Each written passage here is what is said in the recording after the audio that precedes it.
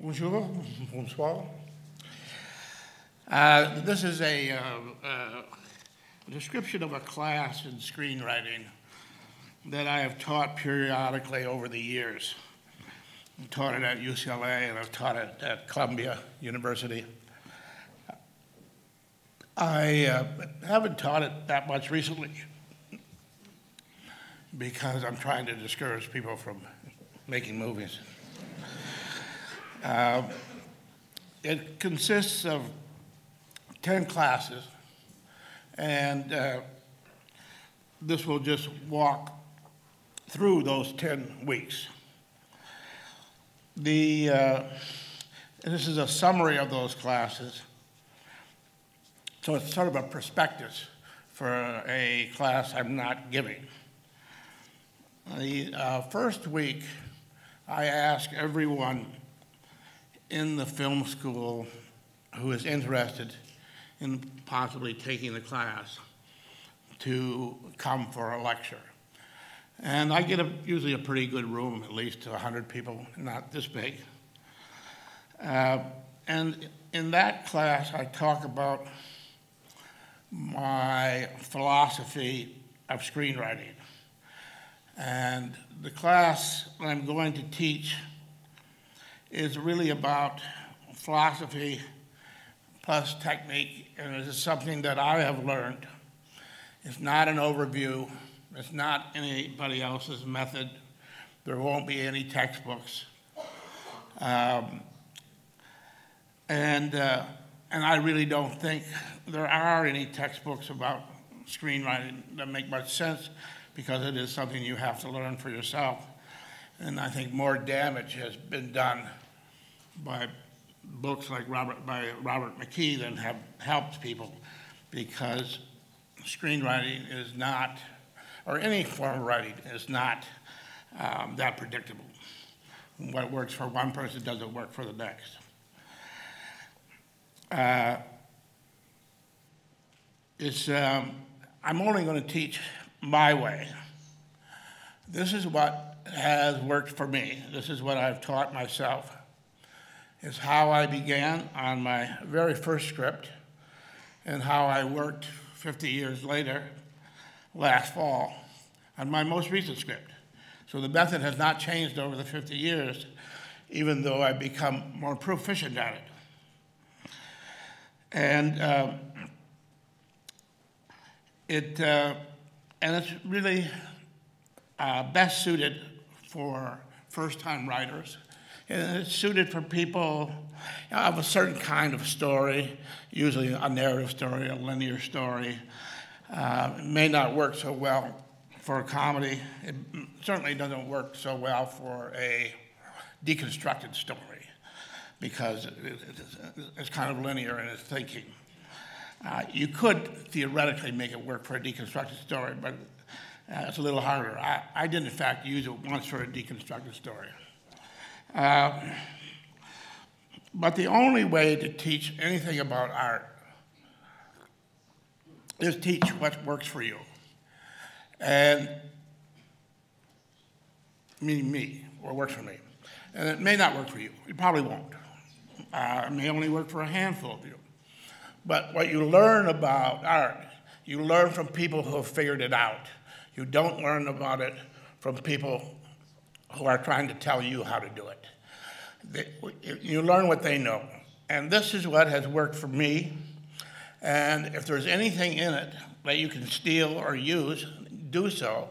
If not, it will be uh, hopefully an interesting use of your time. Um, you know, is it really valuable to learn a method that maybe excludes 50% of scripts? Uh, it certainly is, because there's something in here that works. It certainly has worked for me. Uh, so the opening class uh, begins with sort of my philosophy, which is that art is functional, that art works. It's very practical. It's like a tool belt. that has a hammer on it and it has pliers. And you can use these instruments to get things done. And that is how I came into screenwriting. I didn't come into it out of any desire to um, be in the movies or be uh, known or make money. I wrote a screenplay because I was a film critic and screenplays were the format I knew. Ten years earlier, it would have been a, novel. And 10 years later or 50 years later, it would have been computer code. Uh, but it was the thing I knew, and so I, I came into it. And I was in a uh, period in my life where things were not working. And I was becoming something that frightened me. I was becoming uh, increasingly isolated, increasingly angry, increasingly alcoholic, and, uh, and increasingly depressed. And uh, I'd been traveling and living in my car for several weeks. And I had a pain in my stomach, and it was a, a bleeding ulcer. I was 25. I went in the hospital, and uh, I realized when I walked in the hospital that I hadn't spoken to anyone in a number of weeks. And I, I went in the hospital, and they gave me a room. And this metaphor came to me. And it was a metaphor of a big yellow taxi cab. And this taxi cab was floating through the sewers of the city. It was in Los Angeles. And there was a, a young man imprisoned inside, and he couldn't get out. And everybody thought he was surrounded by people, but he was absolutely alone. And he was trapped in this floating yellow coffin. I said, That's who I am. I'm, the, I'm that guy. I'm that taxi driver. And, and that was the first time I had connected a, uh, personal problem to a functional metaphor. We'll talk about metaphors in a second. But a metaphor is something that, that expands upon the problem and makes you understand it better.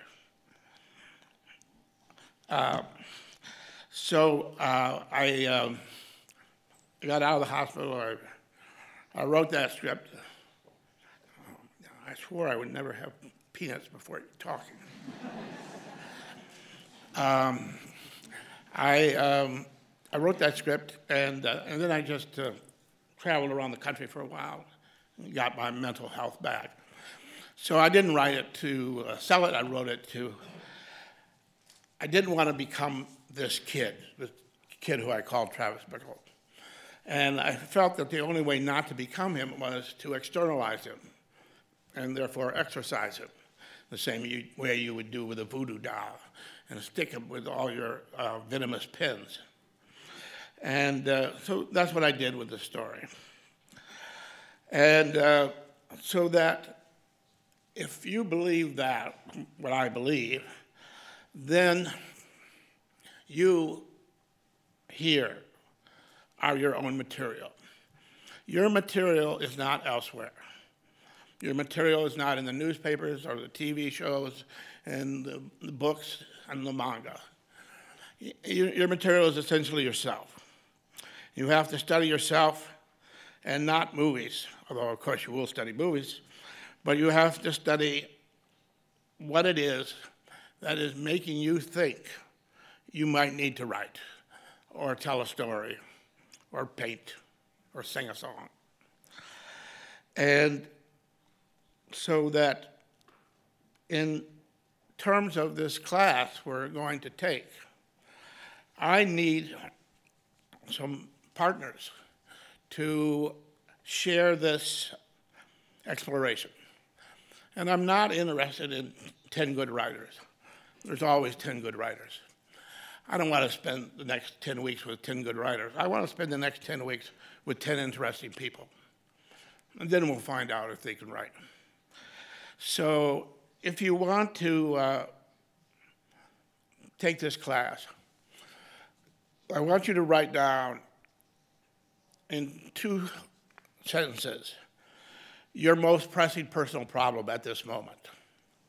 Also write your age, your sex, your race, etc., so I get a heterogeneous group of people. I don't want them all to be the same. And uh, I will then go through those responses. I will go through them actually quite quickly. I'll just go them to the, to the extent that I'm interested, I'm not interested, I'm interested. And I will find 10 interesting people. And you will be asked to come back next week. The other submissions will be thrown away, discarded, you know, never be seen or remembered again. If you, in fact, are chosen, your answer then becomes the public property of the class. It is no longer your own. And uh, you have to be prepared for that. Because when you talk about storytelling, we're in the dirty laundry business. Nobody particularly is interested in our freshly washed laundry. Uh, and if you have a problem holding up your dirty laundry and your soiled thong to the public, then maybe you shouldn't be in this class. Uh, and if you can handle that, uh, you know, I'd love to have you. Uh, and so what you have to look for is something that is yours. Now, it won't be uniquely yours because there aren't that many unique problems in the world. Uh, but it will have to be the sand in your particular oyster. It'll have to be that thing that is agitating you that you would like to find a way to represent.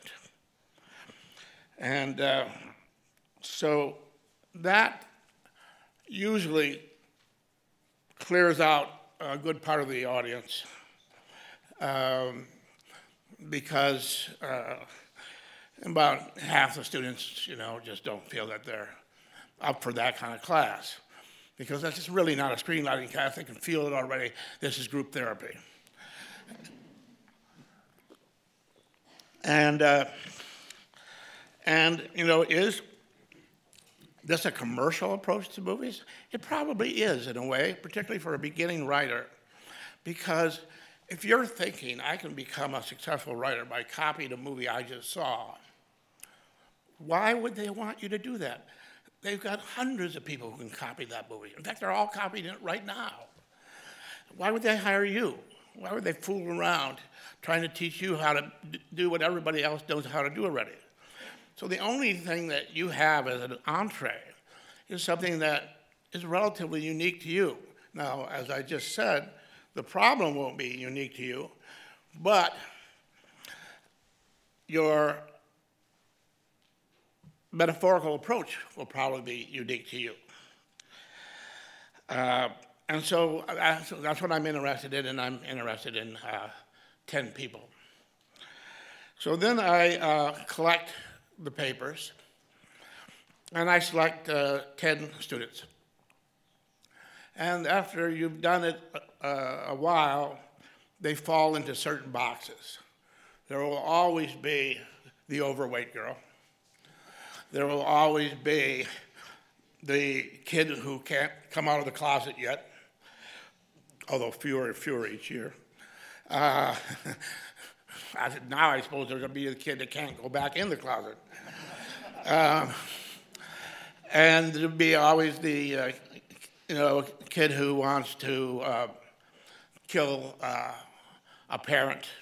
There'll be the minority uh, student who wants to kill the majority uh, student, and and then there'll be a few other interesting ones, and you, you pick out ten people, and you come back the second week and everyone has to read their problem publicly. And then they are discussed.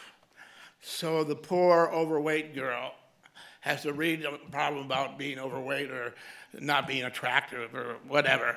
And then it's actually discussed, and, it's, it's, humiliating. And, uh, but um, if you're not comfortable with humiliation, then I, you know, I don't watch my class. Um, and I'm, I don't know if I'm going to watch your film, to watch your film either. And uh, so that is a little rocky the first week because uh, people can be cruel. And when they're not cruel enough, I can incite them to be cruel. And so that you get an, an atmosphere of exposure, which then, of course, results in a certain degree of bonding. And then the next task is to come up with a metaphor or multiple metaphors. And the next week, we will do a metaphor. And I'm just going to put these steps up here.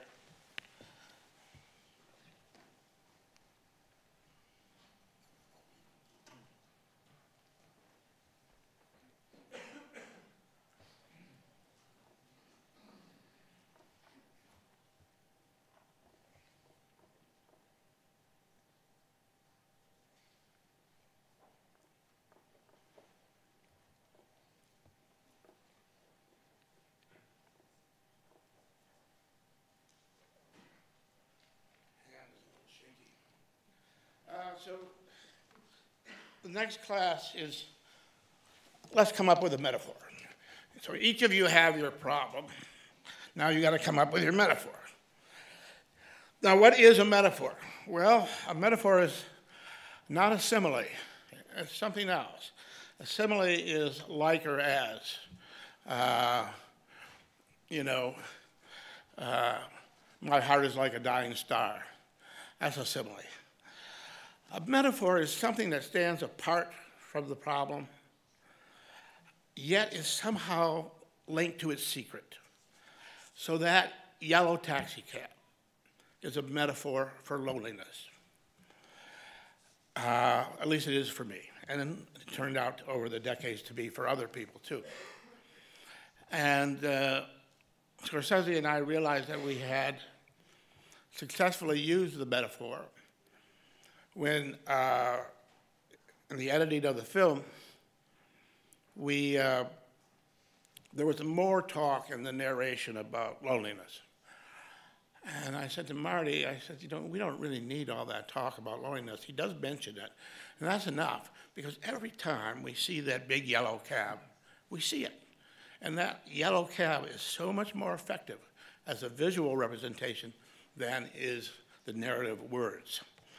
So you know, we knew the metaphor was good. And the uh, and many uh, great films are inherently strong because the metaphor is simply so strong. You know, Frankenstein, a metaphor for mechani- uh, mechanical progress. Now, they don't have to actually talk about the machine age while making the Frankenstein film. But, every, but you know that's the anxiety that is driving that story. We are making machines that are doing human things.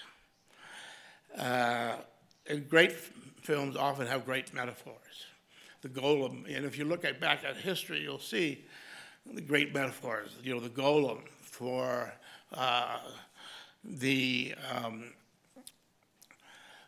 the unknown evil, uh, Rosemary's Baby, uh, Jaws.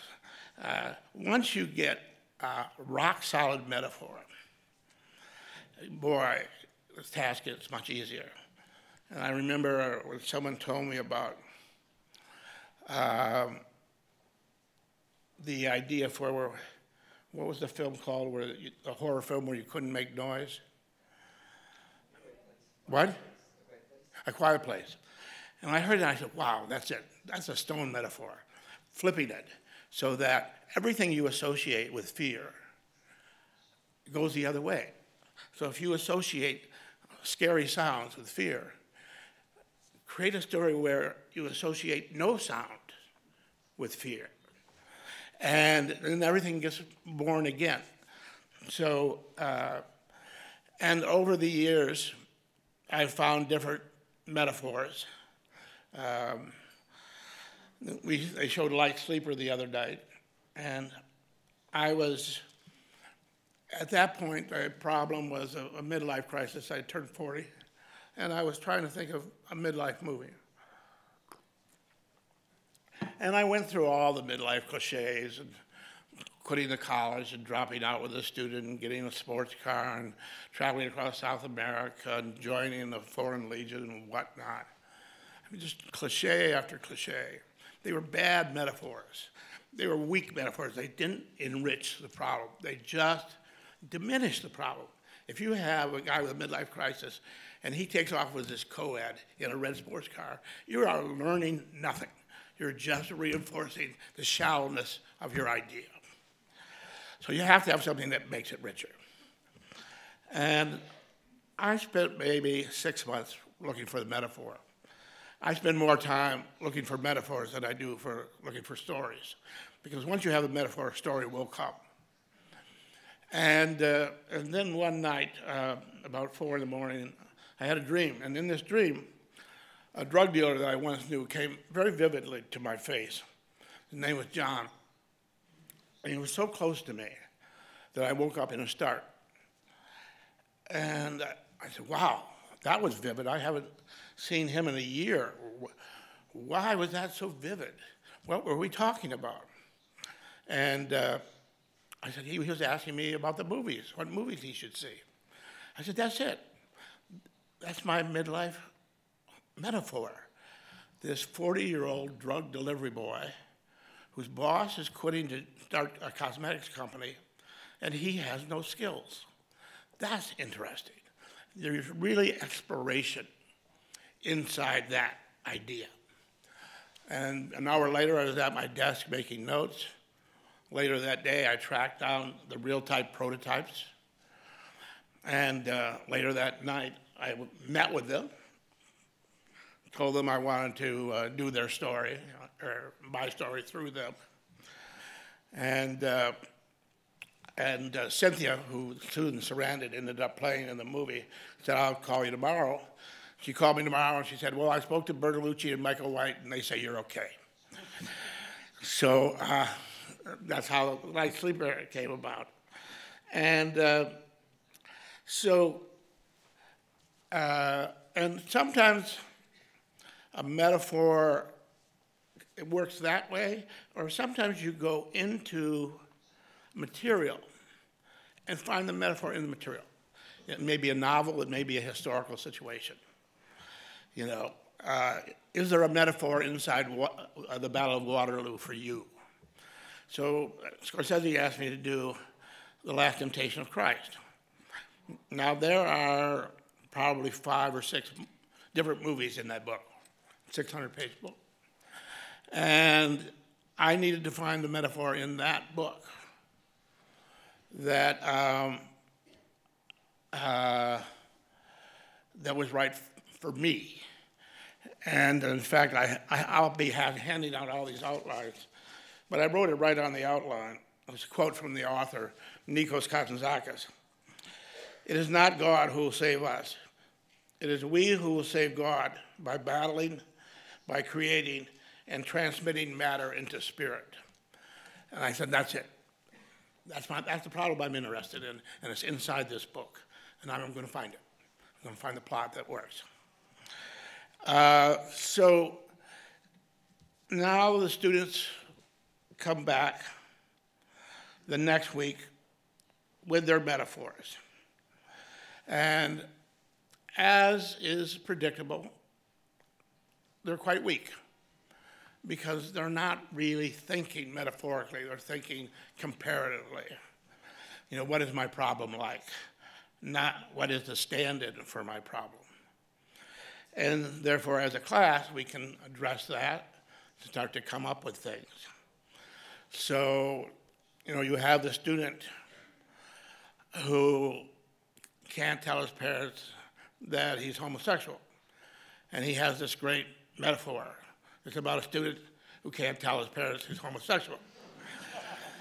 and, um, and he's not going to learn much about his problem, and, uh, and uh, it's going to be pretty predictable and boring, unless he happens to be Proust or some kind of genius. And uh, so I said, well, what can a metaphor be? Know, in a case like that, you throw out metaphors. You know, what about a man who's a spy, who's literally undercover, and he wants to come in from the cold, and no one in his immediate family knows that he has been a spy against his own country for maybe a decade. And he's trying to figure out how to finesse this so he doesn't lose his family, yet he doesn't have to be a spy anymore. Well, now we're talking about coming out of the closet. Now you've got a spy there, and you got spycraft, and you got good spy plot stuff, and you got intrigue, and you got people running from each other in the dark. And all you're really talking about is telling your dad you're gay. Uh, and you learn a lot about what you're trying to tell by putting it in that other world.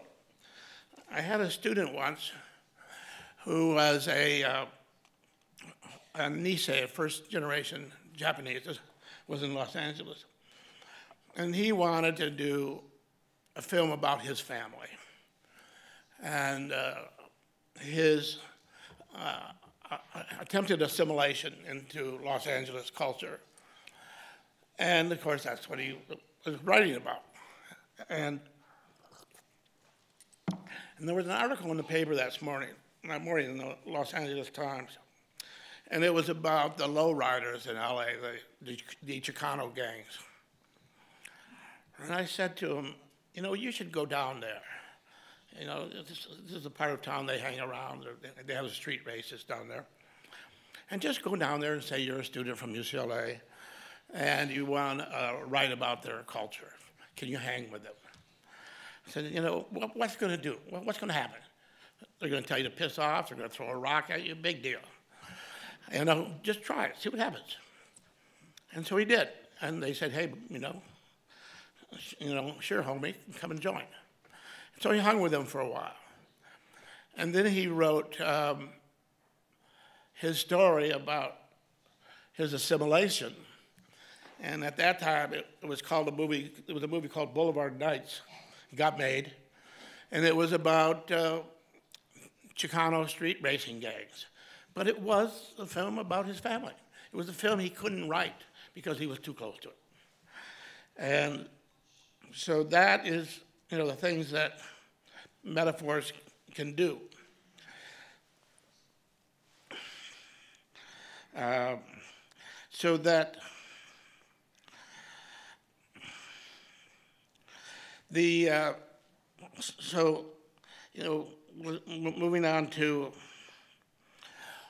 you know let's say we take the unattractive girl you know what is the metaphor for that is it maybe a movie star?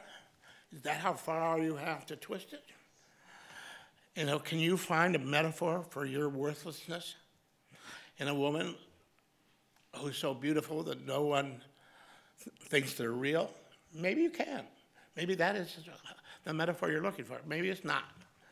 But don't be afraid to reach out uh, to an uncomfortable place because anybody who knows you and knows that you have zero uh, self worth, and you say, I'm writing uh, a script about the most glamorous movie star of the decade, they're going to laugh at you. Well, maybe that's what you need to hear. Maybe that's going to do it for you a few good laughs. Uh, and uh, so then they come back with better. I, I, the ones that have metaphors that are reasonably functional, I said, now come back with some plot. The ones that don't have metaphors are there yet. I said, let's come back with some more metaphors. Now, plot, you know, most people, when they think of screenwriting, they think of plot first. What happens in the movie? I think plot probably comes about, you know, third. First was what happens is what is the what is the core problem that is agitating the need for the story? What is the thing that stands in for the problem? And then how does the problem move through the thing? What happens when loneliness gets inside the cab and starts driving around the city? Now that's plot. And, um, and plot is relatively simple and basic. Certain things happen. you know, you can just imagine that, you know, you, you take a, you take a, uh, a spy, you know, our spy friend who almost gets caught, you know, that becomes the opening scene, well, that's something happens. And then you realize, you don't realize he's a spy. And he doesn't get caught. And then you realize, in fact, he is a spy and he's talked his way out of it. Now, what's the next step? What's the next What can happen next? Does he have a friend? Does he have a wife? Where does he live? You know, just start imagining. And uh, so the, uh, the fourth class.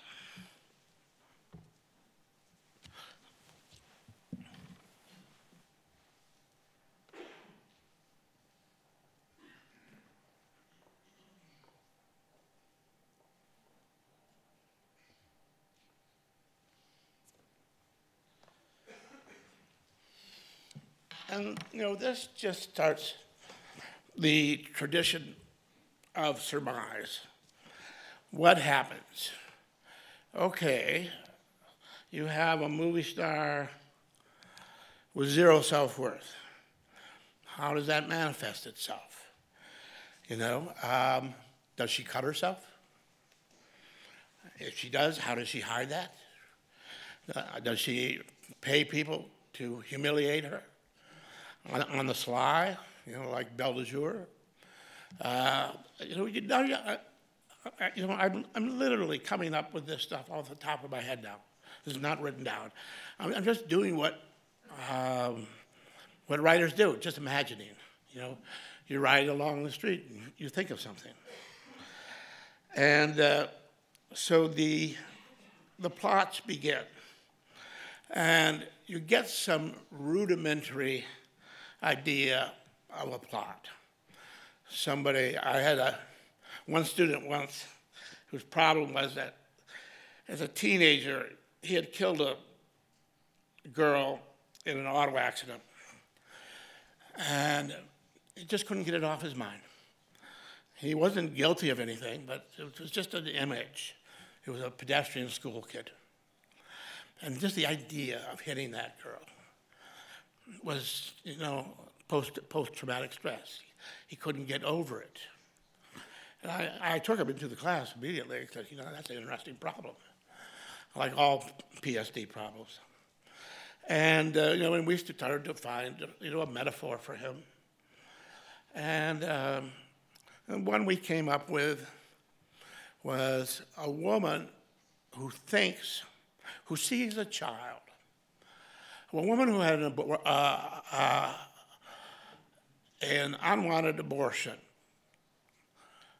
but she doesn't think she did. She thinks the child was stolen from her and sold.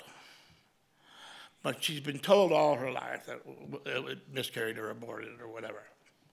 And then she's going down the street and she sees that girl. She says, That's my child. There she is. Well, that's an interesting thing to happen. It's a good expression of the problem of this kid who's obsessing on this girl he killed. Then I said, well, what comes next? Well, maybe you flip the story. Maybe you tell it from the viewpoint of the 13 year old, who this older woman is now uh, pestering. And she doesn't understand why the older woman is pestering, and the older woman is pestering her because she thinks she's her mother. Uh, so that is the simple business of plot exploration. And that leads to the next step.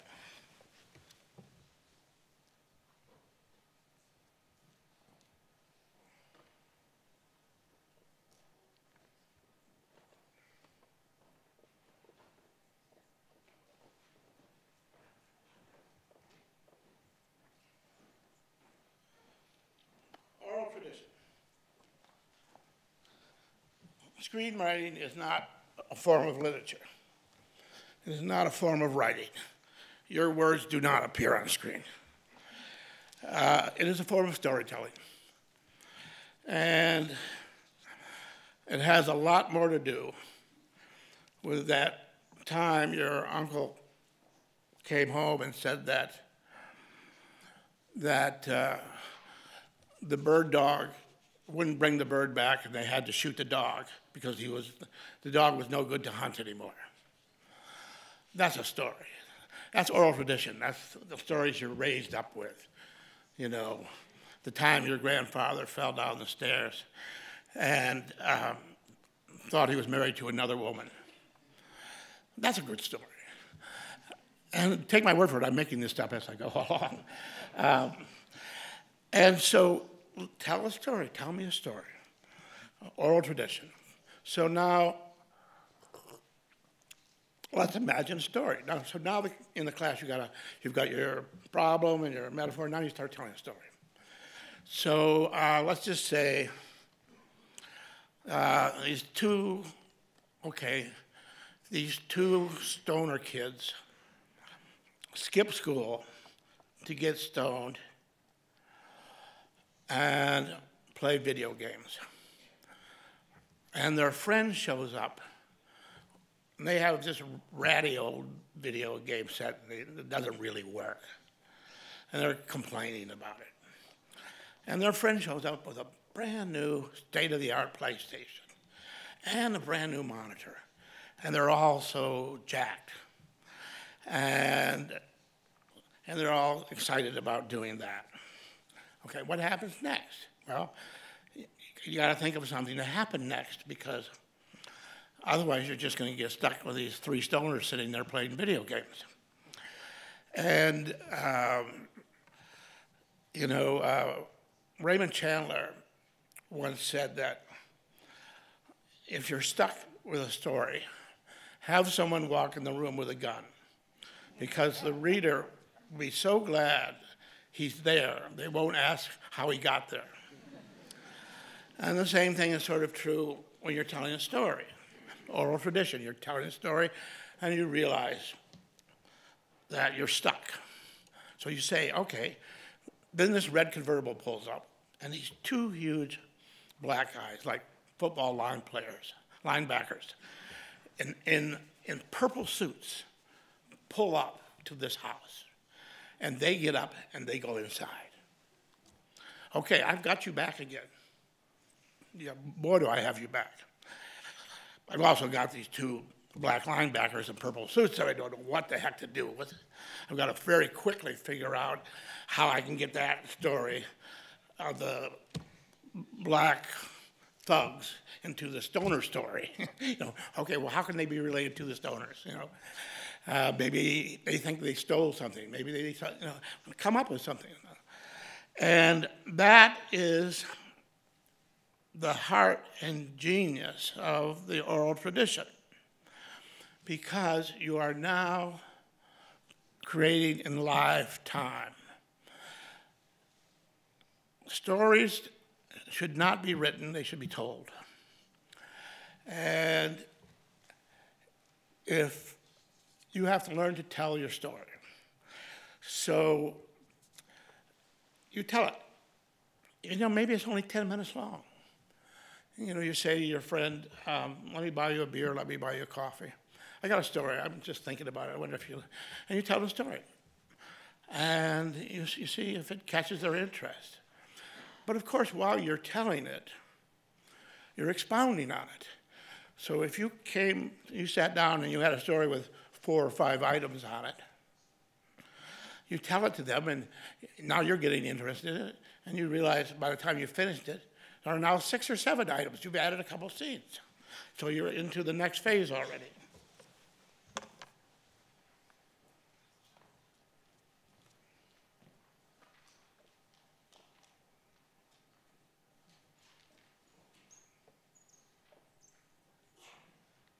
So you start outlining and maybe your first outline is just a few items long. Um, but when you come back from that coffee or that beer, you re-outline it because you now you've just thought of some other things. So maybe you had a little story with 10, 10 scenes in it, but now it's 15 scenes. Oh, don't tell it again. And each time you tell it, you're not really interested and whether the person likes your idea or what they think of your idea. You're interested in their body language, their reaction. Do you own them? And you can tell if you own them. You can tell it in their eyes, you can tell it in their restlessness. And if you own them, you own them. And if you don't, you have to come up with something. You have to find those two guys in the purple suits. You have to find that comic relief guy.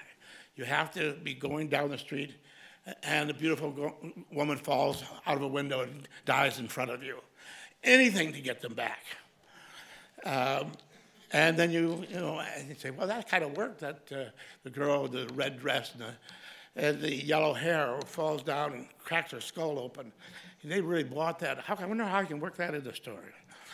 Um, and so it builds. Now, by the time, if you can tell a story for 45 minutes and hold somebody, you have a movie. And if you can't, you should not write it. Uh, you should be able to, at some point, be telling somebody a story. Get to a certain junction, get up, go to the bathroom, and come back, and start another conversation. If they don't ask you what happened to that story, you know you're in trouble. So, uh, then, so every time you outline, every time you tell the story, you outline it. And it gets better or it starts. Two things happen as you repeatedly outline and relate a story. And they're both very good things to happen. One is the story dies. It just gets sick. You get sick of it, it gets sick of you. Now, that is a very good day because that means you have just saved yourself three months of writing a script that nobody wants to read. That is a happy day. There's nothing more debilitating for a writer to write script after script that nobody likes. You do that three, four times, and you're done as a writer. If you can avoid writing scripts that nobody's going to want to read or make, that's a good day for you. The other thing that can happen is the script gets sick of being told. Finally, you're finally telling it, and at some point the script starts talking to you and says, okay, enough of this. I, I got it now, okay? Let's go back to the typewriter. You know, let's go to the word processor. It's, it's time to go to work. And then, of course, that's also a very great day because now the script wants to be written. And you have outlined it in length. And uh, I have a whole series of outlines here. Um, the, uh, and on, on uh, see, I have Last Temptation, Light Sleeper, Mosquito Coast. Uh, Gigolo, I think I have, yeah, on Gigolo, I have two outlines here. So this is a long time ago. The first one is 44 scenes and 85 pages. And the second one is 48 scenes and 114 pages. So in between those two outlines, it expanded by 15 pages. Now, how did I know how to expand it? I simply did by uh, uh, telling a story and figuring out. Uh, and in that case, when I was beginning to learn to write, I used to even color code these outlines uh, by exposition, action, humor, uh, romance. So I can actually look at the outline in different colors and say, wait a second, you got three exposition scenes in a row here. And then you got a comedy, an action, a comedy. That's not, you know, switch them around. And, and, then, and you'll figure that out when you tell it in person. So um, as I get into what I actually think an outline is, I have uh, about 20 copies here of various outlines. And uh, I'm not going to ask for them back. Uh, so, you know, you can just look at them among yourselves and uh, refer to them, and maybe someone from Forum uh, can help me just uh, pass them out. There'll be a, there'll be a test afterward. And what you will see in these outlines, and here's some more, is a meticulous preparation.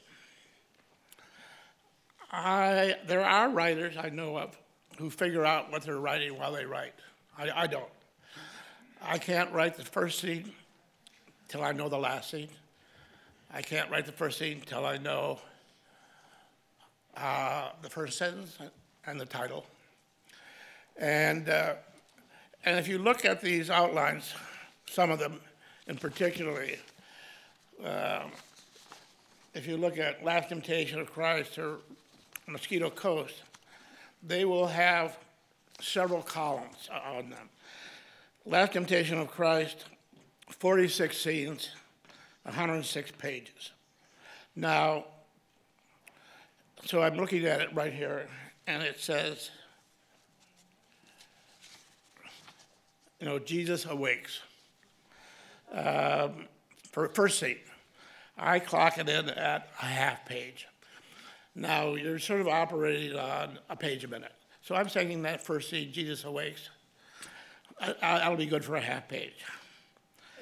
Uh, the next scene makes cross. I put that down as a page. So now I'm going through my whole outline. I haven't written a word yet. And I'm telling myself that on scene 32, he discusses his betrayal with Judas. And the page lasts, it lasts on one and a half pages. It begins on page 73 and it ends on page 74 and a half. And I haven't written a single word yet. And I'm still, I'm already clocking where these uh, scenes uh, will come out. What I do in an outline like that is you see I have the, the estimated page count. And then when I finish the scene, I scratch it out. And then I have the real page count.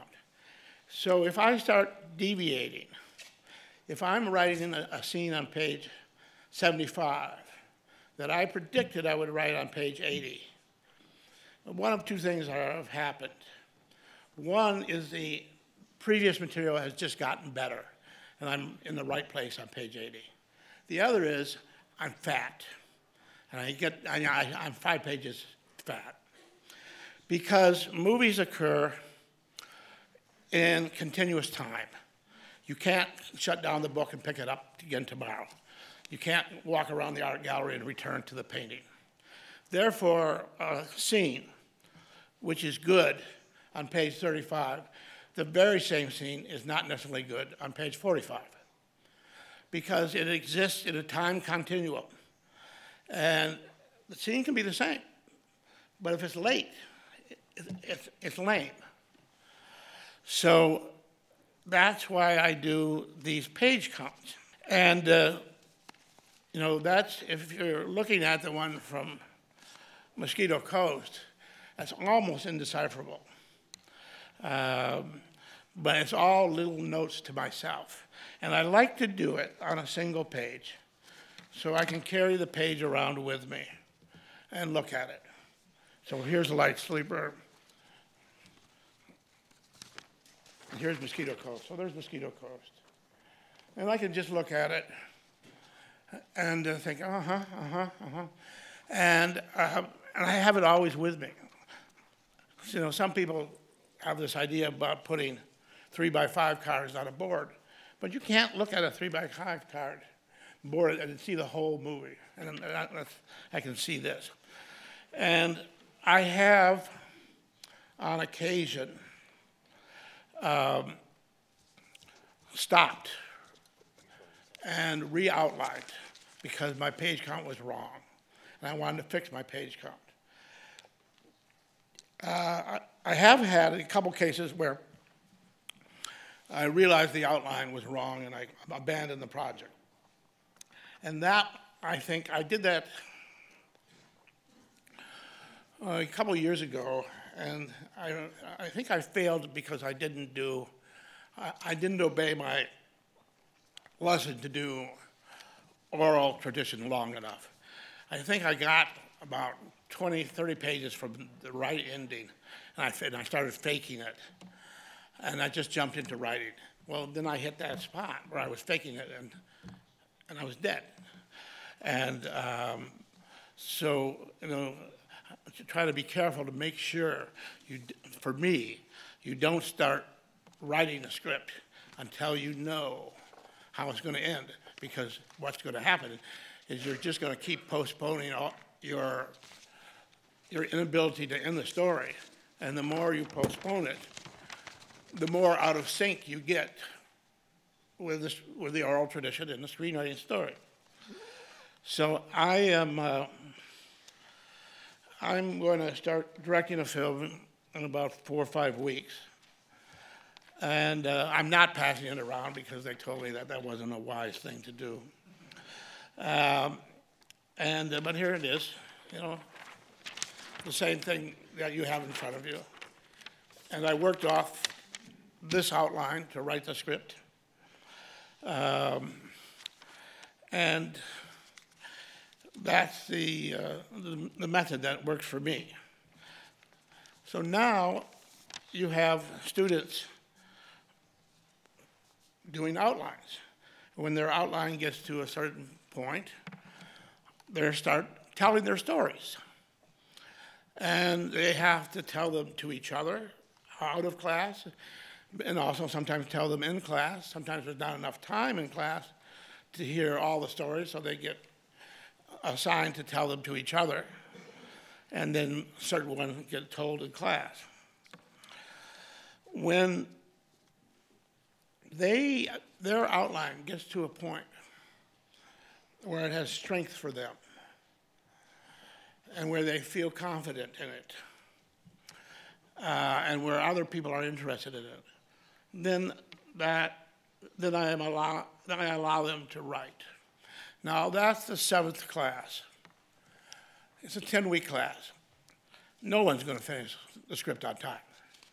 It's impossible because you spend seven weeks not allowing them to write. So all the scripts will turn up, you know, three, four, six months later and they'll get their grades. But that's, you know, just the uh, particular way I choose to do it. And, uh, and I think of those page counts the way a marathoner might think of running a marathon. He looks at his watch. You know, when I pass the red house with the blue awning, if I'm in the right place, I should be an hour and 13 minutes, or an hour, 13 minutes and a half along. If I'm faster than that, I should calibrate why I'm faster. And if I'm below that, I've got some other problem going on. So as you're running your marathon, you're looking at your milestones and your road marks telling you how much in the groove you are. Uh, so that is essentially the class itself. You have a few more um, weeks, and so I devote them to more practical things like script format and so forth. Uh, the, the, to me, there really is no script format, um, although you know, Final Draft tries to mandate how a script looks. Uh, I wrote my first script as chapters without scene numbers. You know, Travis buys a gun, Travis meets Betsy, Travis drives. And uh, just little chapters. I wrote First Reformed as chapters without, without numbers. I wrote the new one in chapters without numbers. Then, of course, the, um, the um, the line producer has to go through all the work of numbering it because how do you prepare a budget and a board without numbers? But for me, it works better without numbers. Um, uh, I've written a script in the past tense. Um, I've written a script in um, Zawi language, like comic book language, you know, bing, bang, boom, all that.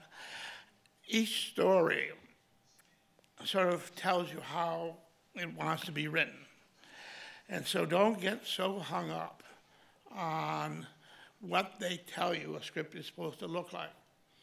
If a script reads well, that's all that matters. And it's the same thing with acts. How many acts are there in a movie? Well, mostly there are three because we live in the past and the present and the future. We like to think in triads. But in fact, some movies have five acts, some movies have one act, some movies have two acts. You know, and don't let anybody, at any school or any textbook tell you it has to be three acts. It doesn't have to be. And don't let anybody tell you you can't have a scene that's 10 minutes long where nothing happens. Uh, I don't know how many of you have seen First Reformed, but six, uh, seven minutes into the movie, there's this 12 minute scene where two people just talk. Now, if I had a screenwriting teacher, he'd make me change that. But I knew that it was right, and I knew that if that scene didn't work, I shouldn't write the script. And if the scene did work, the script would work. So, you know, be careful about all these, you know, there are, there's a reason why people teach screenwriting and don't make a living at it. Just think about it. Uh, so I, uh, so then I also do some exercises for them because two of the most difficult things to do in scripts is uh, exposition. It's certainly the most difficult. Exposition is the bane of, of writers, and you need it. Now, you need less than you used to because audiences are more savvy. But so I give you an exercise, exposition exercise. A man is in a, a town. He has lived here before he meets somebody in the supermarket who he recognizes, but he doesn't indicate that. And then she recognize, then her daughter comes and recognizes him. And he is, um, let's say, I'm making this up. He's uh, the brother of that girl's dead sister, okay? and he used to be a cop. And he lost his job because um, he got drunk and beat up a suspect. And then he left town, and then his wife died, and his sister won't talk to him anymore. Okay, now I, that's a lot of exposition. So I say to students, okay, that's the exposition exercise, two and a half pages. Come back next week, I want that in two and a half pages. Well, they can't do it. It's just too much damn exposition. But it's sure fun to see how watch them try, because they're going to come up with all kinds of devices, you know, and some of them are going to be very lame, you know. And uh, didn't that wasn't that person used to be in the in the a policeman with you? You know, boom, boom, boom, exposition, and so that uh, students sort of understand how devious and crafty you have to be about exposition because uh, it, it, you can tell it in really uh, poorly written uh, scripts by uh, inexperienced writers because they just put the exposition right on the table, you know. Uh, you know, I, I, was I, I, didn't know what to do. You know, my, my sister got hit by a car, and boom. So that's a good class to have. They, they learn about exposition.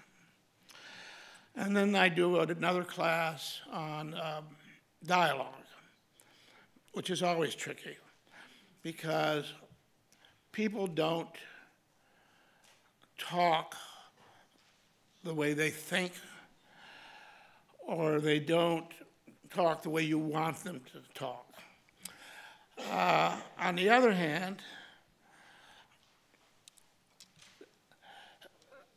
oddness in scripted dialogue is not as odd as it is in daily dialogue.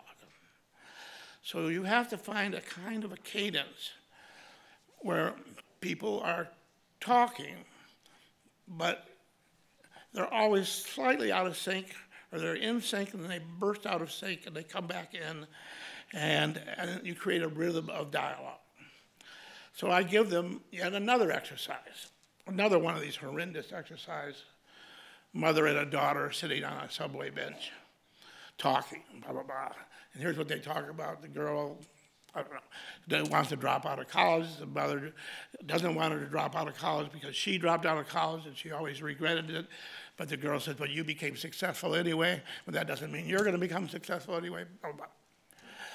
Um, I say, okay. And I run through all these things they talk about. And I say, you know, give that to me in a page and a half, two pages next week.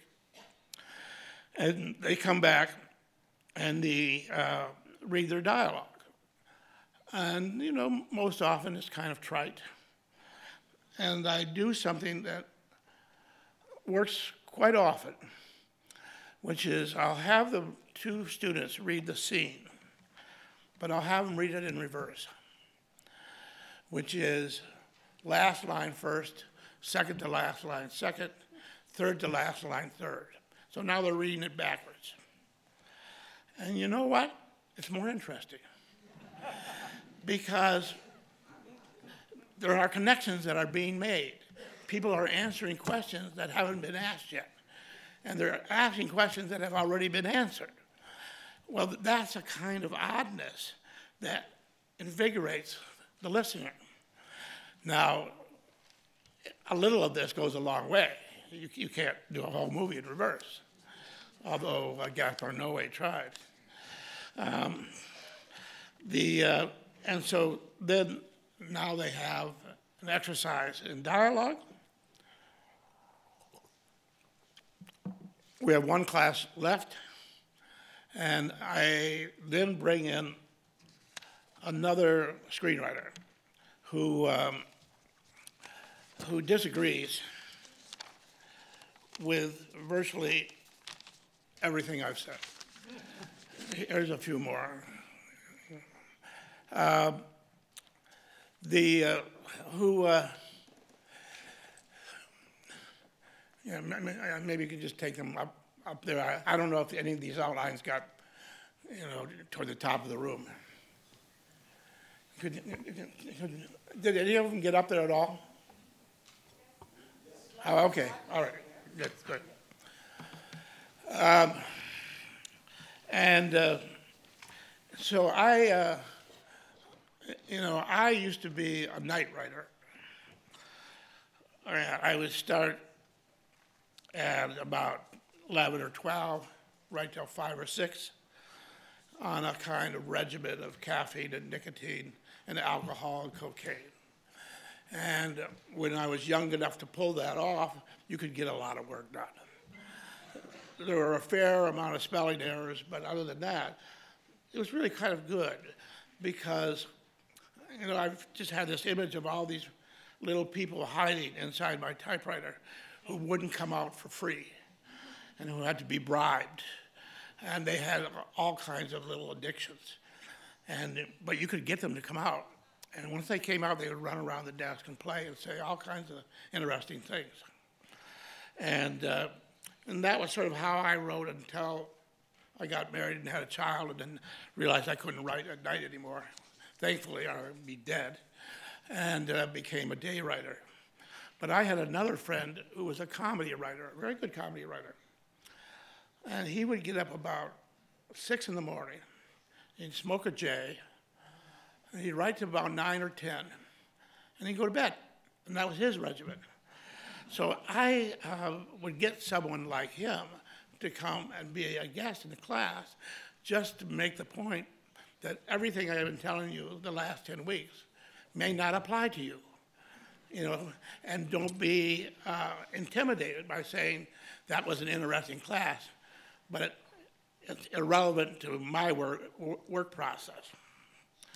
And uh, that is the end of my lecture on screenwriting.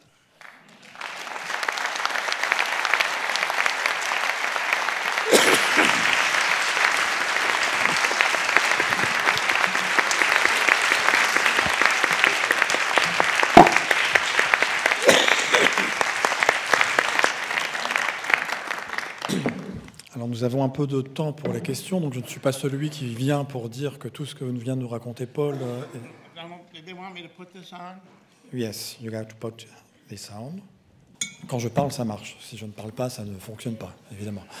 Euh, vous pourrez poser les questions, euh, évidemment. You très précises, can ask uh, as many si vous le souhaitez precise questions as you want. souhaitez en anglais. It can be either in French or in English, but you have to wave so that Paul can see you. It's always more pleasant to see euh, the face of the person who's talking to you.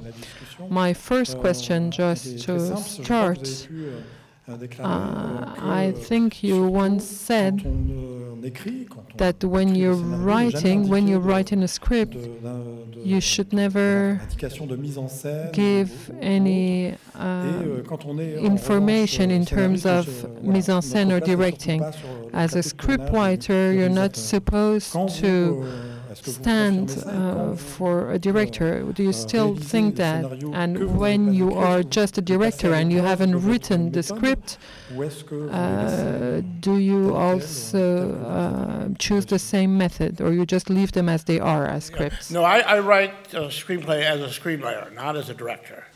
So you're writing problem, metaphor, plot, dialogue, exposition, character. You're not describing, you know, the sunset. And, um, and you're doing the stuff that you know a script has to do. Um, and if it works, then that. And then and occasionally, obviously, physical descriptions and stuff will, will come to play. But you're using the tools of language and oral storytelling. Then, should you be so fortunate, you have to rethink the entire thing into visual ideas. And you have to look at that poor script you wrote and say, how can I save this with images? You know, and then you rethink it all. And you transmogrify it into what you can make images do. So, you know, an image is an idea, which is uh, something that took me quite a while to learn. And so uh, you can say a glass of water. Well, this is not a glass of water. A glass of water is four words. Or, or is it three in French? Anyway, it, it's four words. This is not four words. This is an object, and it is what it is. And when it's over here, it's a different object, a different idea. I pour some water out of it, and it's another idea. So you have to think, okay, these, these words, what do they really mean visually? And when I wrote that they were in a restaurant, and now I'm thinking about it, wouldn't it be more interesting if they were in a video arcade? No, it wouldn't. No, it wouldn't. Wouldn't it be more interesting if they were in a bank? Is a bank more? So now you're rethinking everything visually. You know, um, you know, what if, you know, what if he his shirt is unbuttoned and he keeps trying to button it and it doesn't quite button it? You start thinking little visual things where you're going to do a little close up on the button, which you didn't put in the script, but you realize now visually it might be interesting. And uh, and if you get too hung up on that at the script level, particularly if you don't direct it, you're trying to jump to the next stage of visually reimagining the story. And you're going to hurt yourself as a storyteller if you jump ahead and um, think of it visually. At least I found that. Alors vous pouvez maintenant prendre la parole. Donc il va y avoir en premier une question ici. So we have a first question from the audience. Well, um, good night, and thank you for sharing your method uh, with us. Um, I wanted to ask, uh, unless it escaped from me or I've- I wasn't paying enough attention, I don't remember you put or you spoke about characters uh, or as the protagonist or the hero as your main uh, elements. I know there's kind of always this. Um, battle between plot and character, what comes first. So I wanted to know like what what is your approach to to character, and also as a, a second maybe small question, if you're um, if you know a little about John Truby and his method, I know he's more a script doctor, but John Truby John Truby, uh, you don't know about him? No. Okay, well, I've never read a book on screenwriting. okay. Well, I guess we can skip that question. we stay only with the character and plot. Uh, thank you. Yeah, no, I mean, it's pretty clear to me that character comes before plot. So uh, if the problem comes first, then the metaphor comes second. For me, the metaphor is usually the occupation. Um, so, uh, so then you have a character who the the problem is inability to express love. You've chosen the metaphor of a gigolo. Now you start thinking about plot. What can happen? How can this express itself?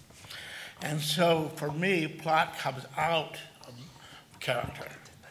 And, um, and character, the, the essence of character is contradiction. I love my wife so much I hit her. That's character. I loved her so much I hit her again. That's even more character. And so out of these characters start come plots. And the really interesting characters are people who do things against their own best interests and don't understand why. So Travis Bickle says, I have to get healthy while he's drinking and taking pills. That's, you could call that plot, but that's character. And the fact that, okay, so you have a taxi driver. You have a, uh, a lonely guy in a cab. There we are. What can happen? Well, he sees a girl he wants who he cannot have. He sees a girl who he can have who he doesn't want. He tries to kill the father figure of one and fails. He kills the father figure of the other and succeeds and becomes a hero by mistake. That's all the plot. That's the, I just told you the entire plot. And it all just came out of character. You know, how, do, how does a man construct a world that defeats him? And I thought that script, when I wrote it, was about loneliness. By the time I finished the script, I realized it was about self-created loneliness, which is a different thing. Notre question hi Paul, Euh, qu'est-ce que vous pensez de, des écrits de Campbell What do you think of Campbell, Campbell et de writings, Joseph Campbell, and theory of monomyth? influence pour vous et Is it an lui accordez des influence for you, and if you have any esteem for it? Uh, yeah, I, well, I mean, I, I, I think, you know, it's basically true. But again, you know, he's talking from Mount Olympus. And George Lucas is reacting from Mount Olympus. And I don't work at Mount Olympus. Uh, and occasionally I create characters that have Olympian features. But I, I start at ground level, and sometimes they don't get to the top of the mountain. And so uh, for me to take the point of view of the mythological cosmic overview uh, would intimidate my own truthfulness. Um, and it would be wonderful sort of to wonder if, if Homer and those cats of yore actually created this thing from Olympus or they created it from experience. Alors, on a des questions ici, juste au milieu. Lorsque vous écrivez une histoire, When you ça vous when you write a script, do you sometimes start from the end rather than from the beginning, or the or or start from the middle? No, no, no. I, I, I think I just made it clear. I don't write till I know every single scene and what page it's on. Um, I, these things here, these exist before I write. So how can I start writing at the middle when I know every single page in the film? Uh, so no, I, I, I have no idea. And I, and I also think uh, it's just a wonderful way to fail if you, um, because you're just guessing. What you're, what you're doing there by writing in the middle or the end is you're just outlining. You're not really writing yet. You're just piecing seeds together. You haven't really gotten it down yet. And you can do that for months at a time and end up nowhere. Um, you know, when a student says to me, you know, I've got this script, I've been working on it three years, my heart sinks uh, because you know there's something wrong. And when they say, um, this isn't really much, I just did it in the last uh, couple of months, but maybe there's something there, I said, give it to me now. Um, because if it comes fast, it means it wants to happen. And it doesn't come fast if you don't, if you're not ready for it to come fast. It won't come fast if you're starting in the middle. Alors il y avait des questions au milieu et ensuite ça sera encore ici. Oui. Bonsoir. Good Euh, evening. donc vous avez parlé de la traduction. en You talked of the translation into pictures of the of the of the script, so the film is over. Do you consider that uh, during editing you should go back to the script, or just be completely cut off from the script when you're editing? Uh, well, the, the editor obviously has the, the script, and he's working from that. And if you've all done your jobs right, it will fall in place. Of course, uh, there's many cases where that doesn't happen. And, uh, and films have, films have often been restructured in, during post-production. I work at a certain budget level that I don't like to shoot scenes that aren't going to end up in the movie because I could use that money to shoot things that are. So I try to be very, very rigorous. And if I'm shooting a scene and I got it, I say, let's do something else. I'm not going to spend another two hours on this. I want to find a let- Let's find some exteriors to shoot because I already got this scene. And when you have the courage to walk away from a scene, uh, that ties your hands in the editing room. And so it's not something I advise to a, a young director because everybody you know is going to say, shoot as much as you can, always shoot a master. I don't shoot masters anymore. I don't even, hardly even shoot overs anymore.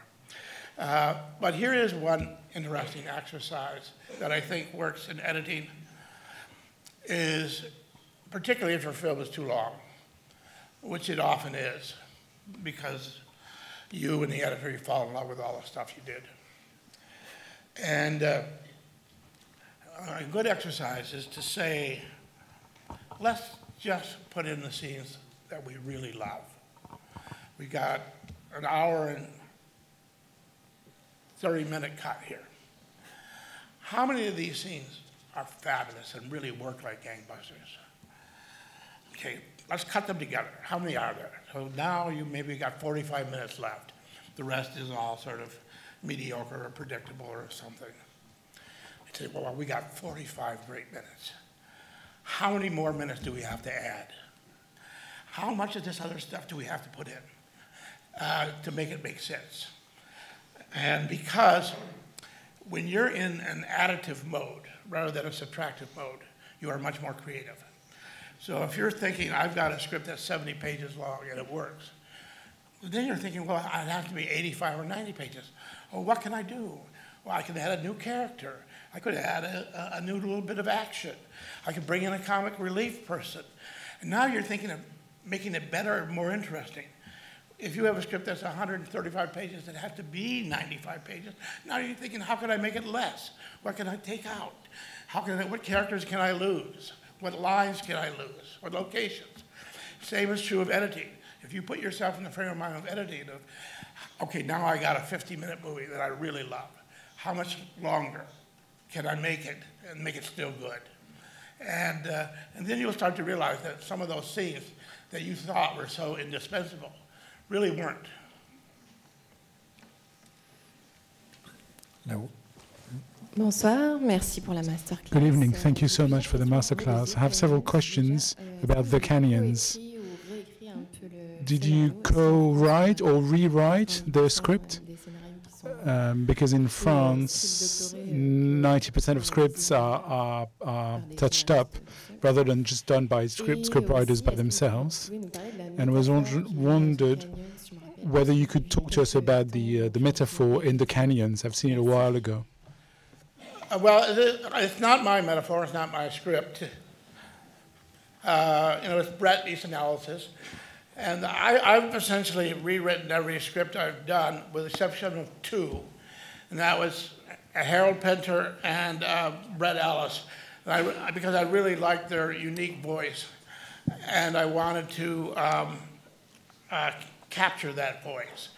And the only thing I changed in Bret's script is he had, he had done the, same scene twice by mistake.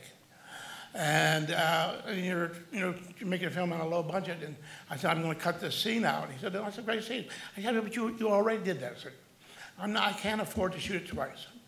You know, which, which one would you rather have me cut out? But I'm going to cut one of them out.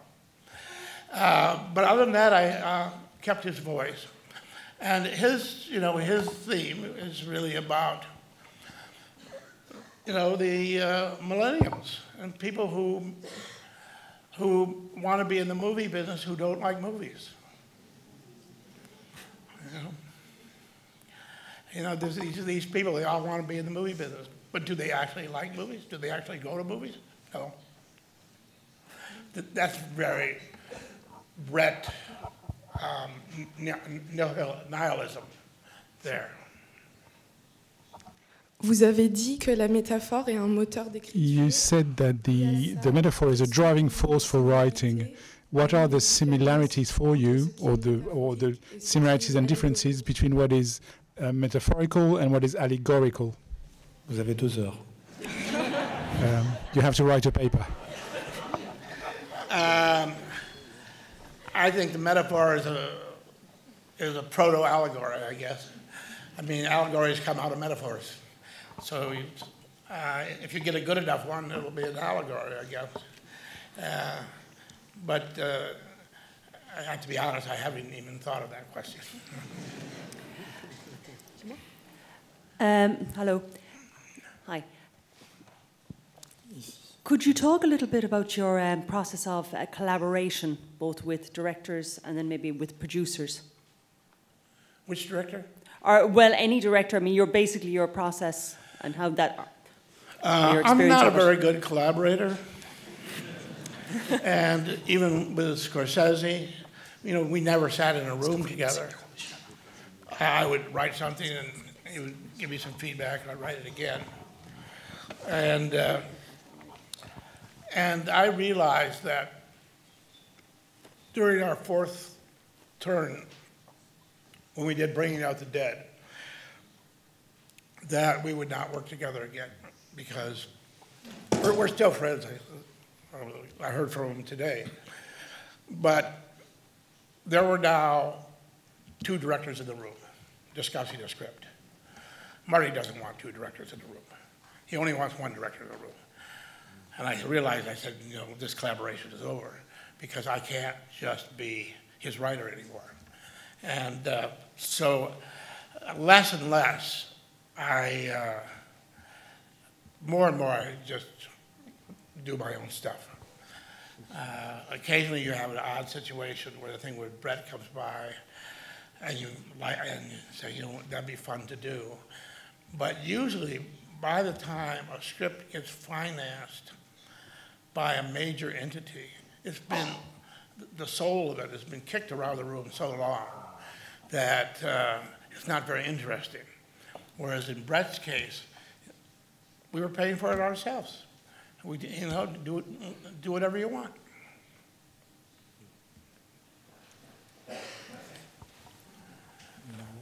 Bonsoir. Vous avez parlé de. Good evening. You talked of uh, metaphors that you found either arriving at the hospital or with alcohol or with drugs or sleeping, do you think you can find a good metaphor if you're in a non-modified state? No, no, no. The um, uh, well, let's talk about the new one. Um, I, I was thinking about punishment and what happens to someone who doesn't feel they have been punished sufficiently who has uh, served their time in prison and still feels they should be punished. Thought, you know, that's an interesting theme, you know, and has its, it harks back to my Calvinist upbringing. And then I was watching some cable television. I was watching the World Series of Poker. I said, that's it, isn't it? These guys, they play poker 10, 12 hours a day, seven days a week. They're not alive. They're just little calculating machines. They've created a new prison for themselves because they don't believe they should be free. And that's my metaphor, professional card player. And the problem is uh, the need for punishment. Now, where do I go with it? You know, and how do I take it somewhere? And so um, I think it's a little facile to assume that you have to be uh, in an altered state uh, to come up with a metaphor. And in fact, the uh, First Reformed, I had always uh, resisted doing a film about the spiritual life. And then as soon as I decided to do it, of course, the spiritual crisis is quite simple. Uh, you know, uh, loss of faith. And the metaphor is a man who professes to have faith. And how does that express itself? Well, it expresses itself in the larger metaphor of the loss in faith in the planet. So now you're lining up loss of personal faith and loss of faith in our species. Well, that's a nice lineup. It's a nice metaphor. And when your theme and your metaphor are lined up right, sparks will go back and forth. Now, they can't be too close together because there won't be any sparks. Can't be too far apart. But you, you, you get them like this, and then all of a sudden you tip them a little bit, you feel the spark. Bake it off, a little more, feel the spark. And uh, that's when you know your idea is alive because sparks going, start going back and forth between the, the, cab driver and the lonely man. Bonsoir. Euh, J'ai une question à propos d'Affliction. Good evening. I have a question on Affliction that I saw again last night. You decided to show the scene of the uh, funeral of the mother before showing the, the, the, the, discovery of the body, of the, of the death. I was wondering why you had done this in this order while the film is quite chronological on the whole. And was it a decision from you or, or was it in the book? Uh, if what you say is true, it was a decision by the projectionist who mixed up the reels. because it's not that way in the film or, or the book. Okay. It's even more interesting. and but I didn't see the film, so I don't know. You know, it wouldn't be the first time they got the reels wrong. I know they got the ratio wrong. They started projecting that at 166 when in fact it was shot at 185. They told me at the second reel they would adjust it. I don't know if they did. But no, uh, unless they got the reels wrong, that didn't happen. On effacera but ça du people misremember movies all the time, so don't be embarrassed. Merci pour la question. Thanks for the question. Ouais. Euh, bonsoir. On dit souvent qu'un film. Good evening. Um, people often say that a film is written three times. When you write it down on paper in the shooting, and when you edit it, you're a, a, you're a director and a scriptwriter. Are you able to follow when you shoot what you've written on paper, or is there rewriting on the set? Uh, it's actually done four times. The fourth time is when you sell it, which is another movie altogether. Uh, well, you know, hopefully what, what you have on paper and has gone through the rehearsal process, which is where it really is tested when actual human beings start playing these characters rather than imaginary ones. And you should have a pretty good handle on it in the rehearsal process. If something goes wrong on the set, that's not good. That means you didn't do the work you should have done in rehearsals. Now, there may be changes in, on the set, and you know, it may just be one of those days where somebody is off, or the plan you had to shoot it, you realize it's not good and you get a better idea. But those should be the exceptions to the rule. If you live in a world where every day you're making it up as you go, you know, that's called Heaven's Gate. Bonsoir, euh, j'avais une question sur le scénario d'American Gigolo.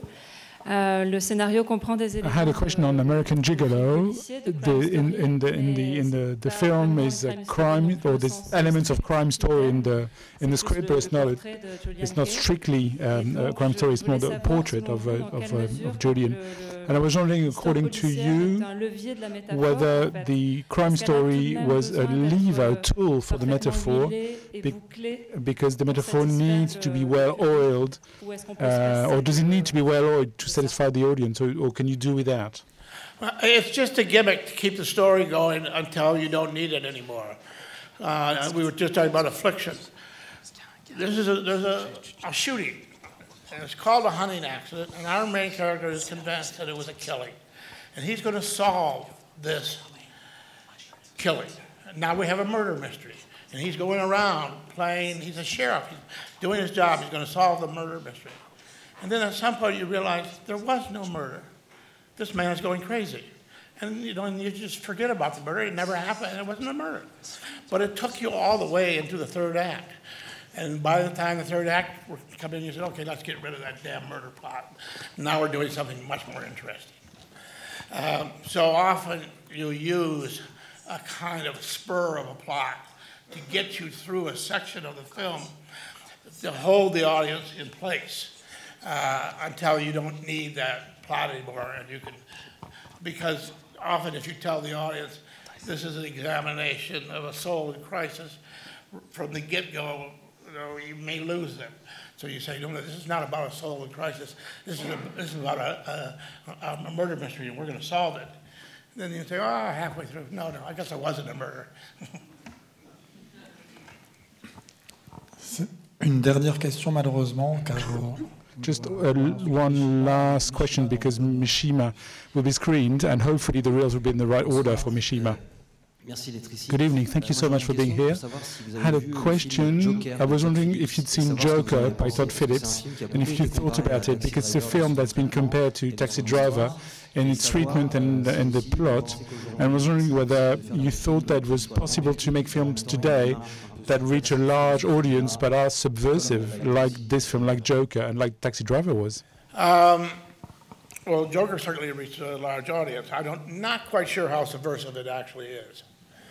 Um, and I, have stayed away from that question because it's a, you know, a lose-lose answer. Because if I say taxi driver is better than Joker, people say he's resentful. And if I say uh, Joker is better than taxi driver, I'd be lying.